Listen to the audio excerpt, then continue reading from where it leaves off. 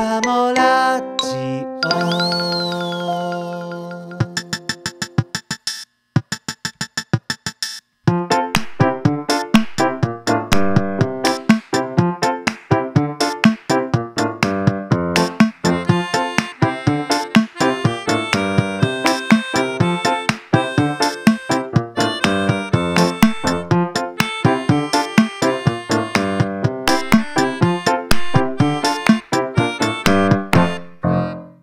NTT のカモカモラジオボリューム3カモカモラジオをお聞きの皆さんおはこんばんちは。マッスル NTT こと吉田沙夫です。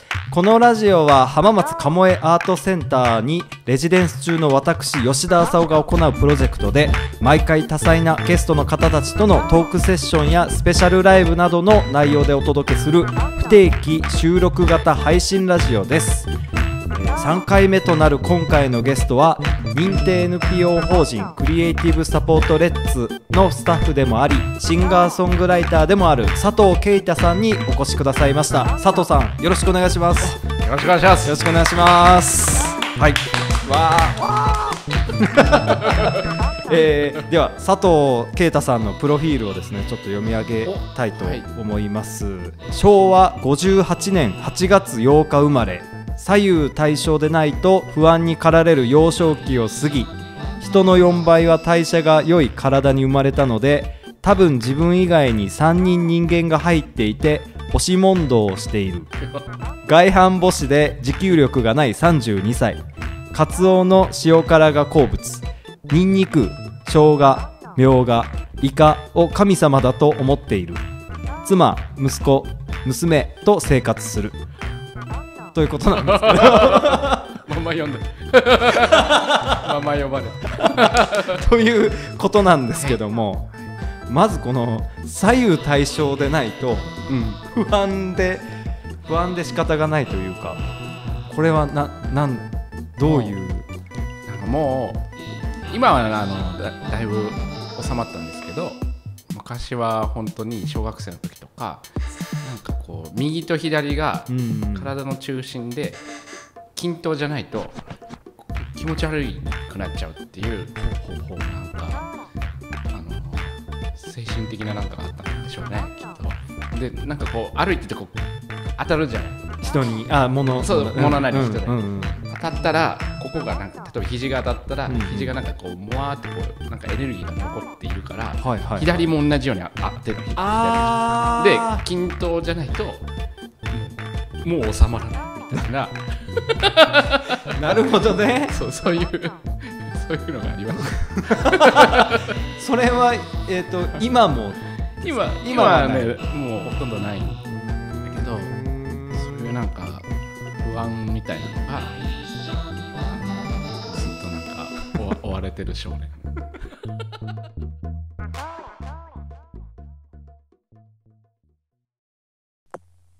でも僕あの僕と佐藤さんはもうえっとね6年前ぐらいに会ったの初めてでうん。あの2010年に一緒に対バンしたんですよね。ライそうブででしたね。もあ2010年確かねルクレチア。プレチアで初めて会いましたね。僕社会人になってしばらくしてうん。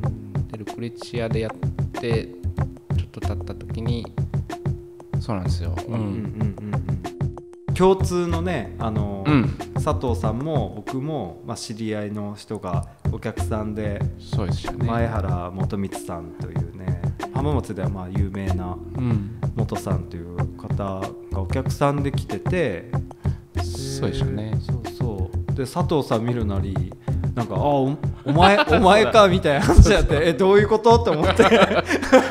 ち陳福メゲレンコって言ってもね 誰かわかんないけどあお前だみたいな感じ。でそうそう大学に在学してる時に元さんの妹さう。んうんうんん経由でその元さんえっと寸外っていうイベントがあってそれに誘ってもらってちょっと遊んだりとかあのーしましたね、うんうん。そうそう。それで元さんを知ってたっていう。か、うんうんうん。うんそうそうそそうじゃあまだその時はチンプクメゲレンコっていう。名前はなかったなかったですその時はね犬死にっていうバンド犬死にっていうバンドをやってました。バンドそそれ 3, 三人3人組とか三人だった社会人になってえっとい犬犬死にはなくなったんですけど、うん。うん社会人になってやっぱバンドやりたいなって思った時に、弟とあとかみさんのバンドでベースをやってたうんうん。え勝山君っているんはいですけど、はいはい勝山君をちょっと誘ってうん。一緒にバンドをやろうって言って奥さんもバンドやっバンドやってました。ねそうそうそう、えー、知らなかった。それは知らなかった。バンドをやってましたね。マジっすか。彼女もねそうそうそう。えだから僕僕は最近エレキああの弾く機会があんまないんですけど、今使ってるのとかかみさんのギターですし、ー。え踏んづけてるエフェクターもかみさんしマジっすか？僕の持ってるのがギターはアルアルスノバでススクラップ化されてしまった提供してますけど。レレッツの施設のレッツのねアルスノバにそうそこに今提供してますけど。ボロボロになってますそうそう。名前の由来はな何なんですか？チンプクメゲレンコは、はい。僕があのちっちゃい頃見てた「ポコニャン」っていうアニメがポコニャンの中でポコニャンを必ずいじめるこうピンピンク色のボサボサの猫がいてはいはい。やつが「チンプクメゲレンコ!」って鳴くんですよ。チンプクメゲレンコっていう名前らしくて。名前も。そうそうそう。おおすげえなんだ強烈だみたいに確かに。覚えてて必ず意地悪するんですけどめげずにこう意地悪し続けてるんだけど、うんうん。やつもやっぱこうなんていうか存在が、うん。子供ながらに染みたっていうはとかキャラクター性も全然めげない猫なんですよ。あうんうん。めげれんこってまあ強引に読むと、まあ、めげれない子っていうかさあめげられない。そうそうそう。へこまない子みたいな感じでなるほど。まあへこまない猫でもいいし。へへこまない猫。めげれんめげれない子みたいなのがこ本当は心の中ではめげたいって思ってるかもしれない。そうだね。だけどめげれん。そう必ず。そう。ね。精神もいいなって思思いましたね、そうそう。カモカモラジオスペシャルライブ。ということで今回のゲスト佐藤啓太さん、えー、チンプクメゲレンコさんに、えーライブをしてもらいたいと思います。どうぞよろしく。ええっと、チンプクメゲレンコで、えっと、地平線上のあなたっていうのをやってみます。うんいい。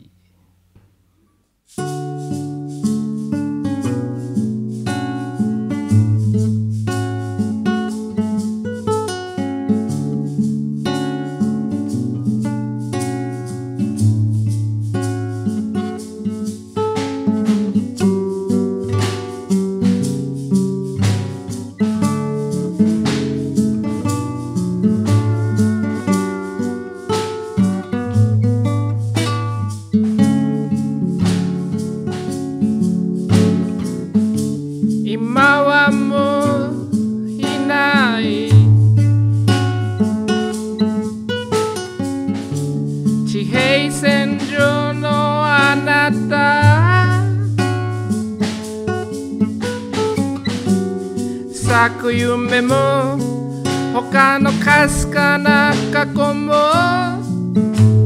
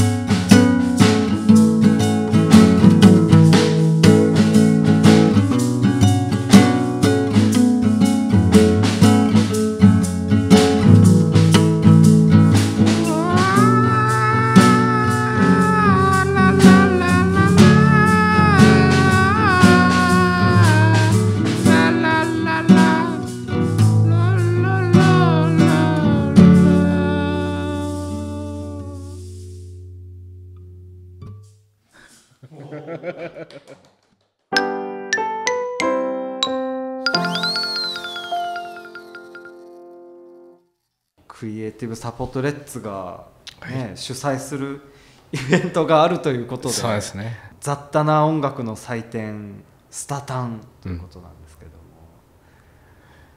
そうですね。これはもうチラシがいろんなところに置いてあってそうですね。鴨屋アートセンターにももちろんはい。置いてあるんですけれども、うん。あの出演者募集って大きく書いてあるんですけども、はいはいこれは、えーオーディションそうですね。が公開オーディション。公開オーディションをする、えーオーディション型ライブイベントと言ってるんですけどうん。10月9日に日曜日に鴨屋アートセンターで、あのー行います、えっと午後の1時から1時から。夜までたっぷりこうやるんですけどえでなんかこうお音楽な音楽とも言い切れないけどなんかこう伝わってくるようなお音の現象とかえ、うん。えーなんかその人が大事にしてて夢中になってる様というかね様が今回の場合まあ音楽にちょっと絞ったんですけど石遊びをしてるうちの施設で石遊びをさしてこう夢中になってる方とかいるんですけどね。とか自分のやっぱ声声でやっぱこう響響きをすごい楽しんでる方とか、うん。やっぱ感銘を受けたっていうのがこの企画のあの始まりでもあるんですけど、一方でまあ僕別に障害福祉だからそういうことを感じるっていうわけじゃなくてやっぱ街中でや演奏してる方とか、うん。あのマサ君もそうですけどバンドだったりとかライブハウスとかで出会ってた人たちとかもやっぱりすごい感銘を受けてきたんで、やっぱりこうその人がやっぱ大切にしたもの大切にしているものとかをこう出していることそれをやっぱりこう見たいと思ってやりました。でちょっと来あのオーディションっていうのはちょっとまあちょっと僕から僕らからのちょっとしたいたずらみたいなもんなんですけどこう雑多にこう音楽はあると。で今特にこうアアート NPO の界隈だとこう多様性っていう言葉がよく出てくるんですけど、うんね。僕ももちろん多様性をこういいなって思えるんですけどね。多様多様性を認める一方でその多様性のことを語らうっていうのは十分にまあ起きてるんだろうかっていうのは一一方でこう注注意しなきゃいけないなって思っていて、まあこのスタタンってこうわーわーガヤガヤした面白いイベントになればいいと思うんですけどあの一つまあちょっと思いとしてはそういうのは多多様にあることの中からやっぱりこうグランプリを決めるっていう行いをするんですけど、うん。そのグランプリを決めるっていう中でいやあのその多様なことに対してこう向き合うっていうことが起きると思っていて、うん。こう無防備になんかこう受け入れてるっていうわけじゃなくてもうちょっと意識的にこういろいろ細かく多様なことを向き合ってみて、うん。うん、あの見るっていう行いをちょっとあえてしてみようっていうことで、なので多様な音楽の中がグランプリを決めるって。なるほど。でそのグランプリを決めること大体まあ「のど自慢」なんか数秒でね今週のグランプリなんて決まってるんですけど、裏で、おもちゃんとトークイベントっていう形でうん。みんなしてこう議論しているで誰がグランプリなんだろうかっていうのは、ん。グランプリが決まるか決まらないかやっぱ当日にならないとちょっと見えてこないかなっていうのをちょっと企画しています。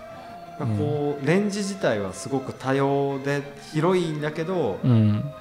でもそれでいいよねでほっとくんじゃなくて、うんうん。そこから一本い一回こう絞っていくいかざるを得ないその状況もう含め、ん、スタタンみたいな。そうですね。うん。語らうことでより一層多様なことが喋れるんじゃないかなっていう,、いうのをちょっとあの設けています。なるほど。しかもこう審査員がそうですね。4名。4名いらっしゃいますね、おられるんですけども、はい。えー浅田渉さん石川浩二さんはい。片岡祐介さんはい。和島祐介さん。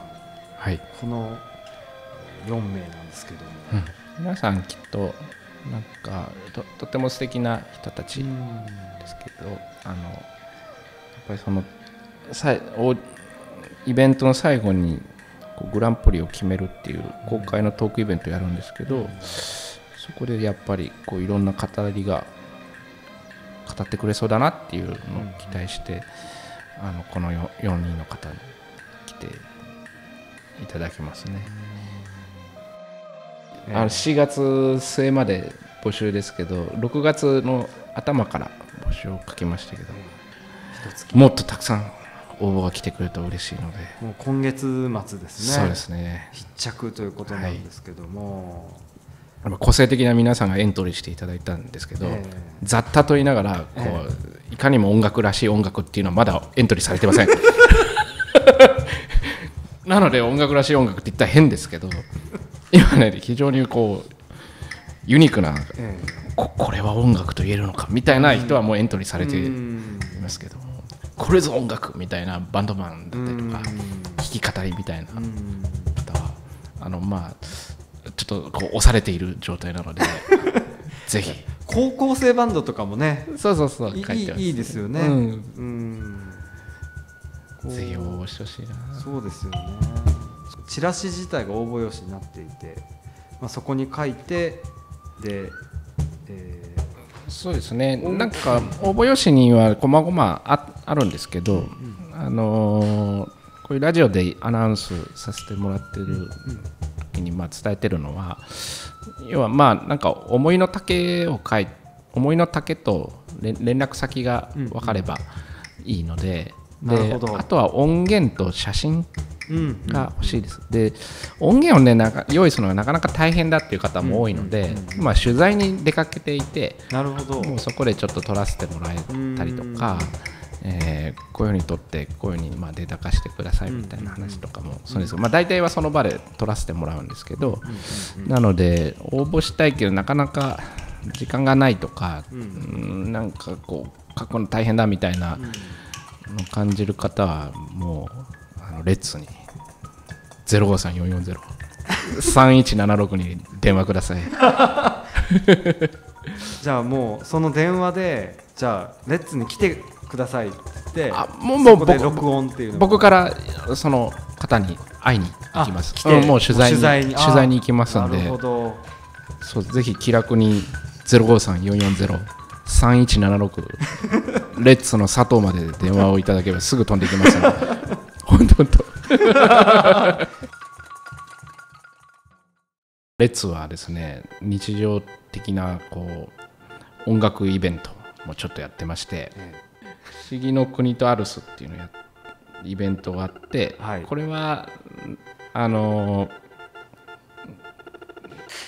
今ですねあのブルーハーツでドラムをやっていた梶原哲也さんっていう方が来ていただいてみんなでこう爆音セッションやるっていう。で梶原さんのこう懐に甘えてですねもうみんながこう自由にん鳴らしまくる。うんうん。最近はもうスタッフがもう凶暴化していて あのあのですね今まで僕だけがなんか土地狂ってたんですけど、今プラス3人ぐらいも土地狂っていてもう何がもう何が起きてるのかよくわからないぐらいにみんなひっくり返ってるんですけどそういう爆音セッションっていうのをやってます。あの不思議の国とアルスっていうそのイベントが今度ボリューム14 14そう14回目のやつが4月19日火曜日ですね。午後1時から3時まで、えーレッツクリエイティブサポートレッツの方でややりますこれは、えっと、入場は無料です。無料ですか、はい。無料ということで。結構あのいろんな方施設だけじゃなくてあの外から遊びに来てくれた方も、あの時々こう参加してもらえているので、もうその日にフラッと来ていただいても西区入野町89234です。はい。はセブンイレブンの前で。セブンイレブンのはい。向かい、まあ、向かいですね。向かいあります。行ったことない人はいい機会かもしれないですねそうですね。アルスノバそうそう、ぜひね気楽に入っていただいて。はいということで、はい。えークリエイティブサポートレッツのスタッフ、えーそしてシンガーソングライターでもある佐藤啓太さんに、えーお越しくださいましたありがとうございます。ありがとうございました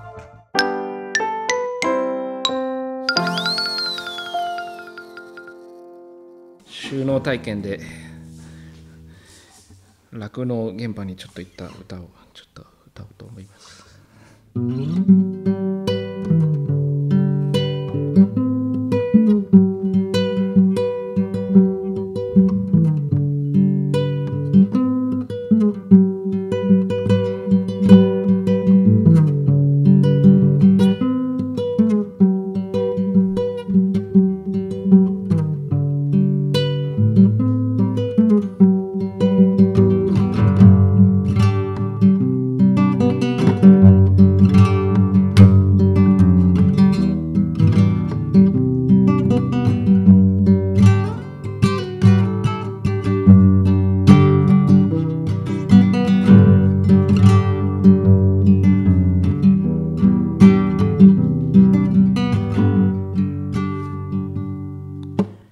朝もやけの中でガラス玉が光る。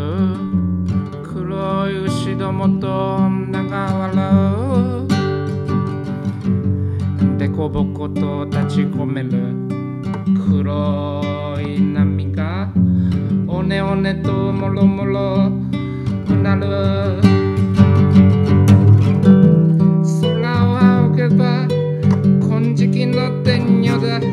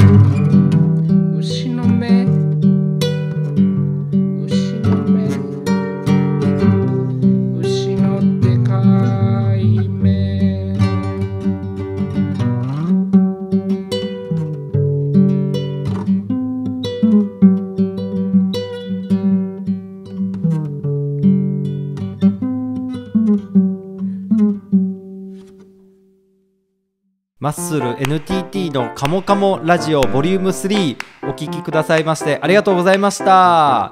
えまた次回お楽しみに。